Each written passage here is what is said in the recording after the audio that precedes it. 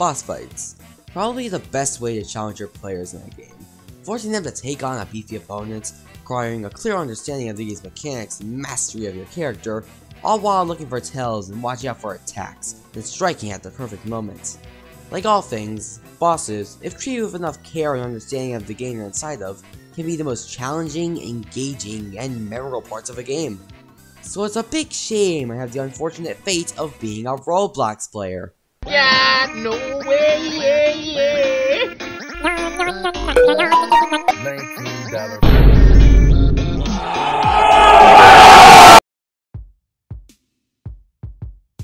Roblox boss fights usually come in two categories. Near trash heaps that repeat the same attack trends as every other boss of their type, in a lazy, uninspired, and mind-rotting fight that is bogged down to appeal to literal infants, and the actually interesting fights with some talent.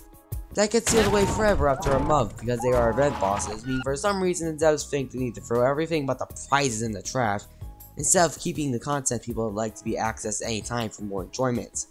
The unfortunate truth is that Roblox developers really only make games for money, so making a challenging and, more importantly, good boss is not really on their minds. So, with all that in mind, welcome to Cheeseburger Crusade, a boss fighting game where you set on a quest to find and recapture a missing burger. Oh, and I guess defeat evil or something. Developed by One Corrupt Media, this game has quite a bit to offer, with more content on the way.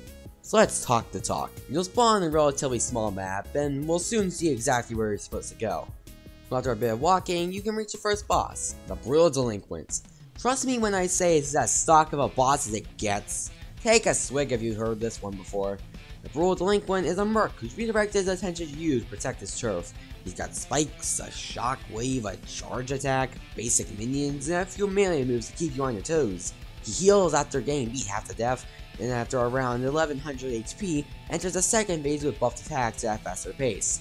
Literally as stock as it gets. I personally wasn't a big fan of this one as you can probably tell. It serves as a nice enough introduction to the mechanics, but really there's no reason to come back to it aside from using it as a test subject for other weapons.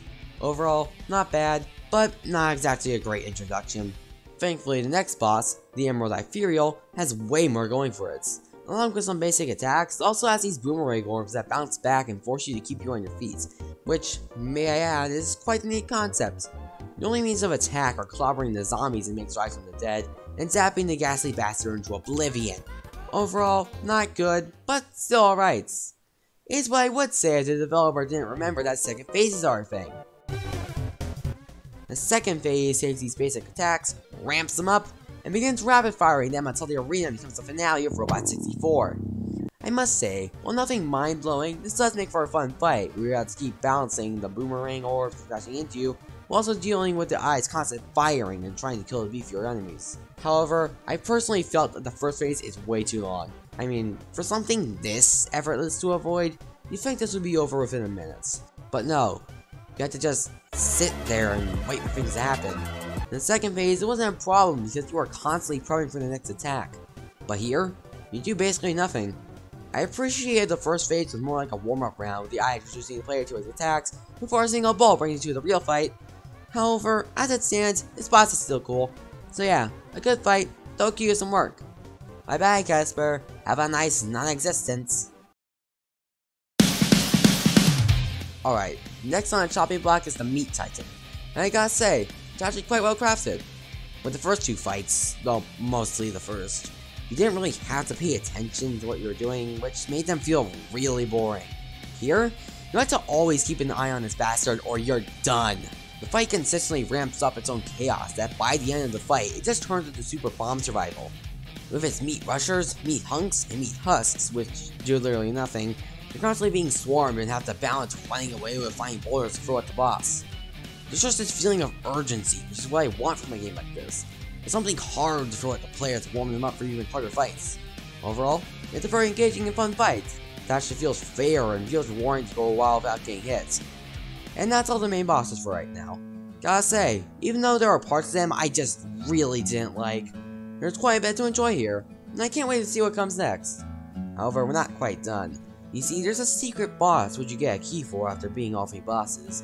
Said boss is found for a miniature hunt inside the lobby. Or you can just wall hug until you win. That works too. Said boss, the Nightmare, is a really good fight that calls back to the original three and puts small spins on them. I mean, busted melees, bullet hells, throwing insanely busted orbs, the shockwave and spike attacks that every damn boss has for some reason. It's a nice way to make these fights feel somewhat connected and like this is the final test of your skills before facing the next batch. Surprisingly, I don't have a lot to say. This is just a great way to cap off the first world, and it's something I'd like to come back to. So after clearing all four bosses, what next? Well, play a lot, actually. This game has quite a lot of extra content to explore. Raids of Manors, surviving raids of ice golems, busting down mansion doors, cover everything inside, and others with their own content as well. Did I mention that all these have their own bosses which are comparable or even better than the first four? And the only event I've ever really beaten, the Christmas 2022 event, there were two bosses that stood out, Trykhor and Azarath. The former being a Templar dead set on reviving its species, with a ton of attacks such as Icicle Breath, tornadoes to throw you away, making the icicles rain down to bombard you with explosions, and even a stage hazard in the form of a shockwave which you need to manage along with the previously mentioned attacks and quite a few more. The latter is a god of ice that hits heavy and hits hard, with orbs to slingshot at you with tricky mechanics, dashes, an explosive defensive maneuver, and once again a lot more. They're really quite impressive. A lot of stuff to unpack here, all of which coming even before the second world after many years. So, you may be wondering, how do you access these worlds? Good question. You see, you can't. Yeah, they're all event areas that go away to be sealed away forever after the fact. So all these stages, prizes, and bosses are basically lost. All that sweet content unreachable by normal means. In my opinion, this is the game's fatal flaw. It's way too caught up in events to get any real work done. I mean, the event weapons get quite a lot to how you fight these bosses, and speaking of weapons, there's quite a lot of them. But the only one permanent, aside from the bat, is the pipe, which doesn't add much to the game. When you look at a boss like Trykhor or Azarath, and look back at something like Emerald Ethereal, it really feels like the developer is shooting himself in the foot, doesn't it? I mean, Corrupt is making these very engaging and difficult fights that have a ton of attacks and varying ways to approach them, with great prizes and overall great experiences. But we're just left with Casper over here throwing the same three moves at you over and over again with little else to really do. At the time of writing, I suppose that April Fool's event is in the works, with World 2 supposedly being on the way. However, if I'm being honest, I'd rather get a basic palette level with a few secrets, if that means we can get to have any real progress made on the main game. And also, why can't we just access the events or the prizes obtained just so we can play them again? I mean, every three months there's another boss or stage ad that gets thrown aside. Is it really that difficult to just add a world to them? If there's anything to take away from this, it's that more work needs to be done on the main game, not just whatever holiday comes along to hold the entire operation off. Listen, I really do like this game. I feel like it's a hit that's just waiting to blow up. However, if the game can't reliably update and add more content, then this project is probably gonna go nowhere. Still, this game is one worth checking out, and I advise you give it a go. With all that said and done, that's all I have to say.